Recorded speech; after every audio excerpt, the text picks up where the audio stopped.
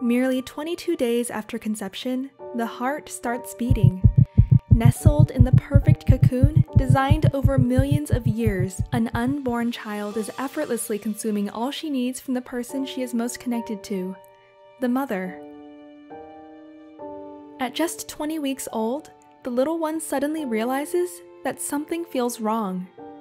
Technically, children aren't breathing yet at this point, but they are practicing their first moves to be ready for their big day. And it is this movement that gets interrupted. The unborn baby begins to feel restless. Her heartbeat, sleep pattern, and inner system are put out of sync. Decades later, the little one would learn that on that day her mother had two glasses of wine. It was the day she began drinking again.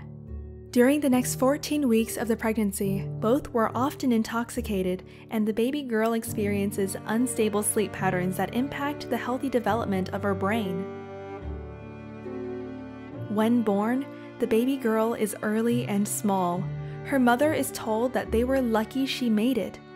A few hours later, the baby is diagnosed with a fetal alcohol spectrum disorder.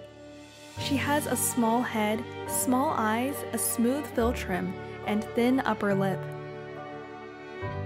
The doctor tells the mother that children with FASD are likely to struggle with many of the following symptoms poor memory, sleep problems, difficulty paying attention, speech and language delays, low IQ and poor judgment skills, difficulty with math, vision or hearing problems, and ADHD. He further explains that mothers that drink while pregnant feed their child through the umbilical cord the same amount of alcohol that they consume themselves, with the difference that the child will be exposed to the alcoholic toxins up to 10 times longer. Alcohol can cause mental and physical handicaps and reduce the chances that their children find meaningful work. Children with fetal alcohol syndrome, the most severe form of the disorder, live on average only until age 34.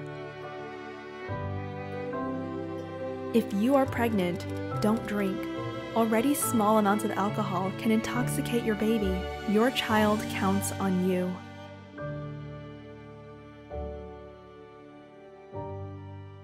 This public service announcement was brought to you by Mali, the app for the first 1,000 days of life, from conception till age 2.